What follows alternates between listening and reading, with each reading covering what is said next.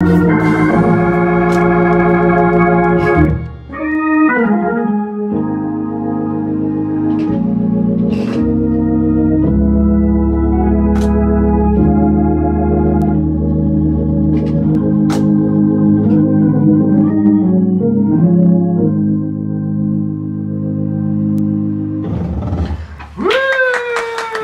いやめっちゃかっこいいですねマジねこうね足こう足ね。腰だね。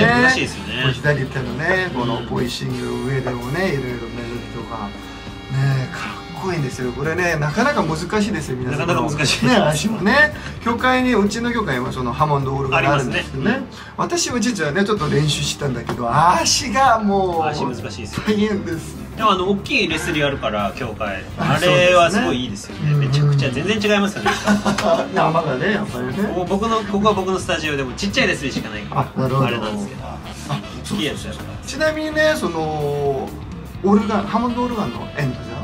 うん一応ね。そうそうそう。これもねこれは何でしょうか？このこれはあの ASKX っていうハモンドのうん。なんか新しいやつですね。ハモンドは大きくてう持ち運びできないっていうのがもう唯一の難,、点だったんでこれもめっちゃ軽い。一番新しい機種でもう一人で持ち運べちゃう。これとはこれ1 6キロぐらいかな。だからまあ頑張ればまあ一人で、持ち運べはい。てでこのえこのレスリーも新しいやつなんですよ、なんとかマークうん2、2, 2インチ02なんだマーク2っていう。マーク2のやつで軽いんですよね。はあはあでこれも一人で持ち運べちゃうから。あのこの間のねあライブやった時もそうん、普通に車でバーンと持っていけるぐらいだから、そうそう。いいですよね。それのエンドでまあハモンドね会社とかね。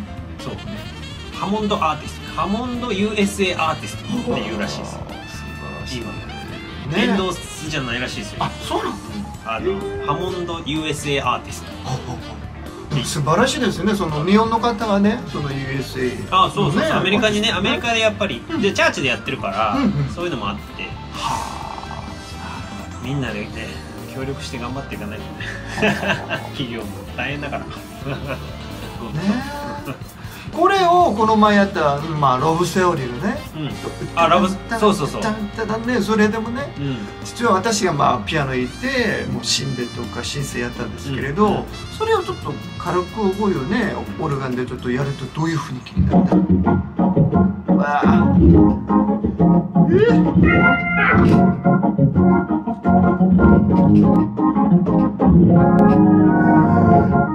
い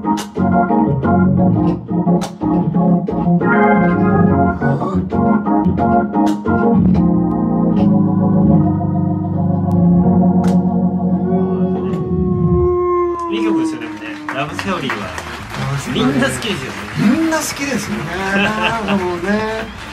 これをねあの元々の音源は多分オルガンがないんですね、うん。ですね。今ねオルガンで弾いてみたら全然雰囲気がまたね、うん。変わりますね変わりますね、いいですねめちゃめちゃ。最高。うん最高最高。皆さんぜひぜひねそのあの泉川さんのねそのサイト YouTube 見てください。本当にかっこいいです、まあうちのあの EMC ゴスペルにも載ってあります。この前ね一緒に。一緒にやった。らそれこそラブセオリーのね。そうロブセオリが載ってあります、YouTube にねうん。そこにねぜひこのシンベとかシンセをどうやって弾いたかもねすごくぜひ見てくださいめっちゃかっこいいです。ありがとうございます。いえいえ。であとはまあそろそろね、うん。もう終わりにしたいと思うんですけどなんか、まあ、話とかありますか？いや 特にないんですけど。その1月いやこれいつ出るかわかんないんですけど。はいはいあのこの間やった1月6日のラライブの配信。配信配信。チケットがお1週間限定で1週間限定。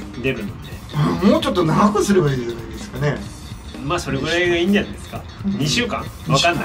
2週間にしようかなじゃあ。2週間。うちうちも2週間やった。のであ本当？2週間そうそうそう。1週間だとあっという間だからあそうか、聞いた人が「えいいじゃん」と言って、うん、広めてそうね広めるから、うん。もうちょっと時間ああなるほどね。じゃあ2週間にしようか。2週間。うん、2週間。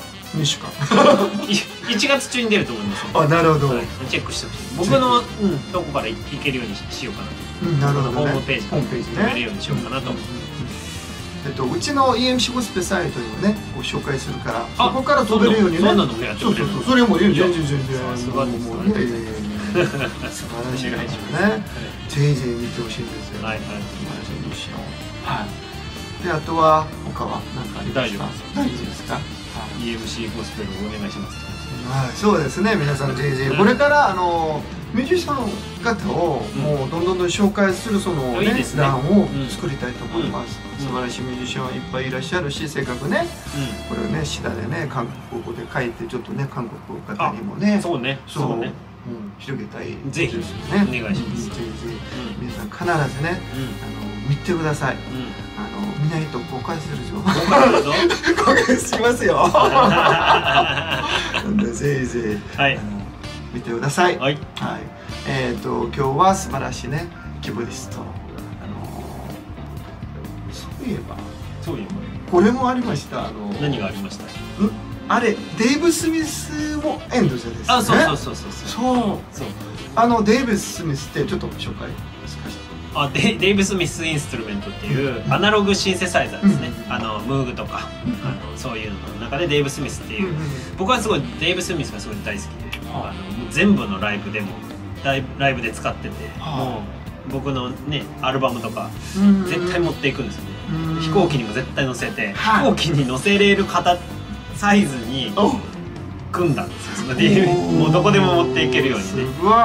そうであの、うん。キムさんのやつの時も持っていったり。あそうですねそそうそうれね。プロフェットっていうやつね。あプロフェットね。それはねやっぱり一番好きなシンセなんでね。はあ。れもやっぱゴスペルに合うから。ねめっちゃ合うんですよ。そう。